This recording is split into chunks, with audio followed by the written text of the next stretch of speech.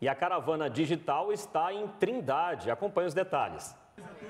A caravana da TV Digital se instalou no Parque Lara Guimarães, em Trindade. O evento itinerante tem o objetivo de orientar a população sobre a migração do sinal analógico de TV para o digital. Famílias inscritas em programas sociais como Bolsa Família estão recebendo os equipamentos de graça para fazer a conversão de sinal. Em Trindade serão distribuídos 17 mil kits. Dona Quitéria da Silva esteve hoje na caravana digital na esperança de ganhar um.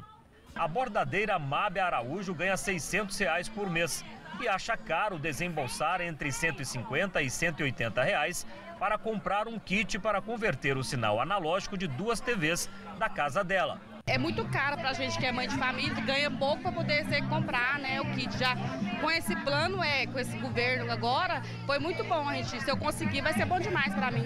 As TVs mais novas de LED ou de plasma já vêm com o conversor embutido.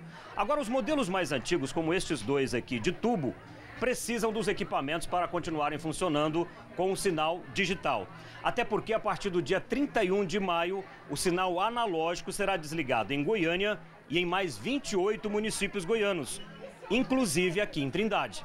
Tem que ser esse modelo de antena, entendeu? Tem outros modelos também, umas maiores, entendeu? Mas eu aconselho, o mais aconselhável é essa aqui.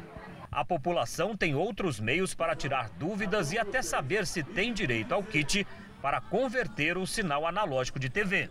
Ele precisa ligar no nosso telefone 147. É uma ligação totalmente gratuita, é, de qualquer celular, de qualquer aparelho, ou entrar no nosso site, que é o www.sejadigital.com.br barra kit, KIT. Com o número de CPF, ele vai verificar se tem direito ou não. Se não tiver direito, ele vai fazer um pré-cadastro para análise da Seja Digital. Fique atento então, o prazo termina dia 31 de maio.